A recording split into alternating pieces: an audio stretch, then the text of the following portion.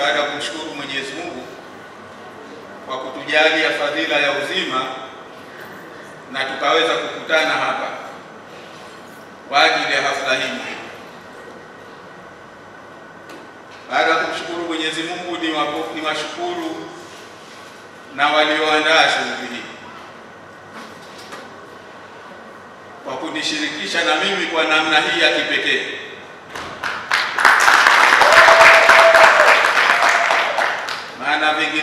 Nisingepata bahati leo ya kupewa zawadi na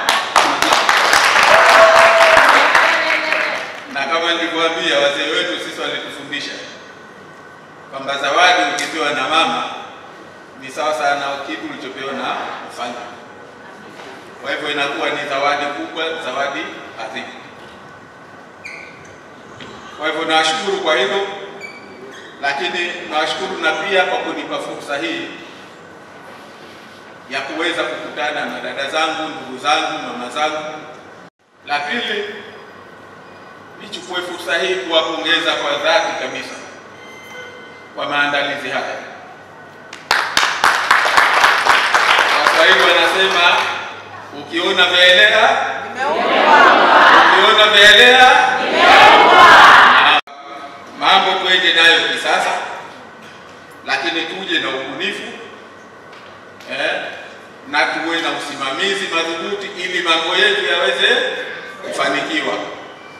Kwa hivyo, kwa hili nawapongeza kwa dhati kabisa. Lakini baada ya pongezi ni lile la kutusaidia pia kwenye chama. Tunajijua sote kwa hali yetu tulivyo sasa hivi kwamba baada ya yote yaliyotokea, baada ya mapito yote tuliyopita, tunahitaji kusimama na kusimama imara ili tusonge mbele na tusonge mbele tukiwa imara na mtaji mkubwa wa chama chetu, niseme na wachama chochote, ni wanachama wake. Lakini katika hao wanachama, basi mtaji mkubwa ni wanawake.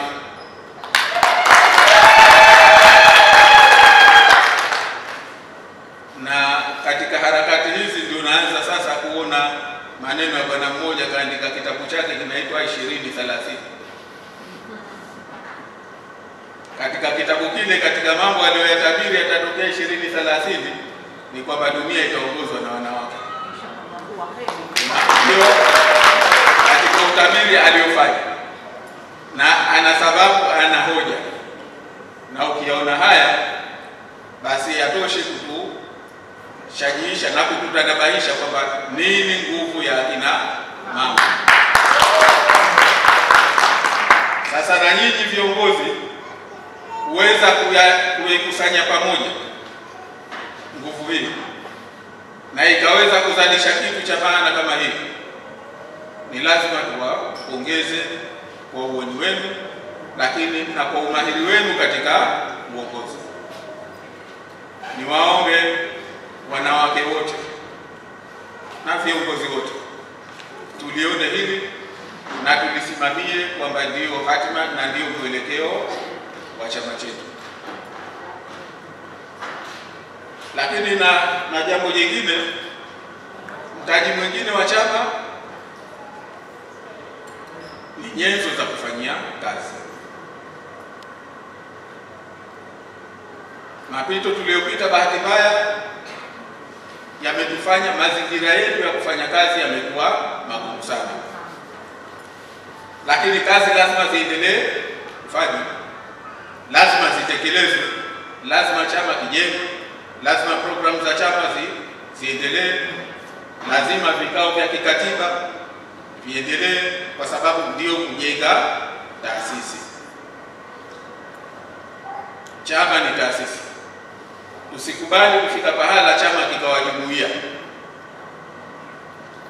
Chama ni kikubwa zaidi ya jumuiya. Chama ni taasisi na kama taasisi maana yake ina misingi yake, na kudumisha utaasisi na moja pekee. Kwa hivyo mimi niwapongeze kwa dhati kwa hili na niwatakie mafanikio katika kulisimamia hili. Umeanza leo katika uzinduzi, basi tulisimamie lienee Tanzania nzima, na hii iwe kama ni tochi, pale ambapo hatujafika tufike, na pale ambapo tumelegalega basi tuimarike. Kwa hivyo tulitumia hivi eh, kama ni, ni injini ya kuweza ku, kusonga mbele zawadi ili tupate kupendana. Sasa ndio msemo tuliopewa na wazee wetu. Kwa hivyo mmenipa zawadi, ni dalili ya mapenzi, na mimi nataka niwape zawadi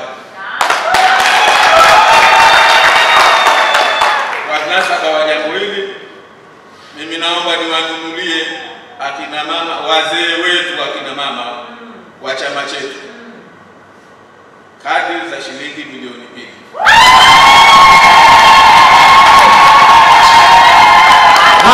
Basi tupate watu wa kuwa kuwasaidia kina mama zetu ambao ni wazee, ili tuendelee kuwa nao, waone ni sehemu wakati hali itakapo. Ningependa nizungumze mengi, maana kuna raha kuzungumza mbele ya mama, maana ukitaka kudeka utadeka, ukitaka kulia utalia, na utu uzima huu ukilia mbele ya mama bado utakuwa umelia kama mtoto. Na raha zake, lakini kwa bahati mbaya tuna jambo letu jingine ambalo ni muhimu kwa, kwa sote, inabidi tuli, tuliwahi.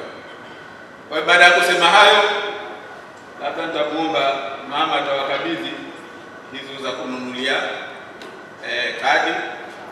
Baada ya kusema hayo, mimi niwatakie mkutano huu, niwatakie shughuli hii iwe ya mafanikio na mwendelee nayo na iwe ni chachu ya kuwa na shughuli kama hizi katika sehemu nyingine.